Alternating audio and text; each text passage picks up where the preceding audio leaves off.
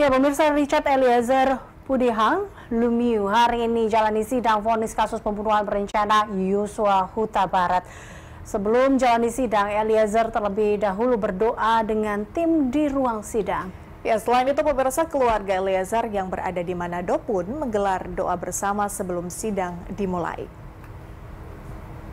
Di ruang sidang utama Pengadilan Negeri Jakarta Selatan, terdakwa Richard Eliezer Pudihang Lumio tampak tegang akan hadapi sidang vonis atas kasus pembunuhan berencana. Terlihat sebelum mendengarkan vonis, Eliezer beserta tim pengacara terlihat saling merangkul saat panjatkan doa sebelum sidang vonis dimulai.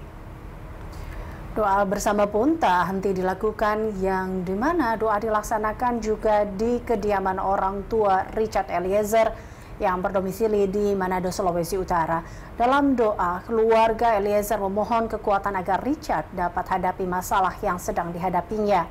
Serta keluarga berharap hakim dapat memberikan vonis yang lebih ringan dari tuntutan jaksa penuntut umum sebelumnya.